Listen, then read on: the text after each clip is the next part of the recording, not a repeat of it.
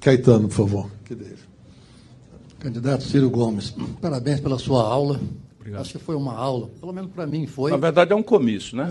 Não, mas, um comício é, para a é. gente preparado. Você imagina eu explicar isso na favela, né? Esse é o Exatamente. Pesado. Eu acho que aqui nós tivemos um ambiente em que eh, você pôde expor né, essa sua, sua metodologia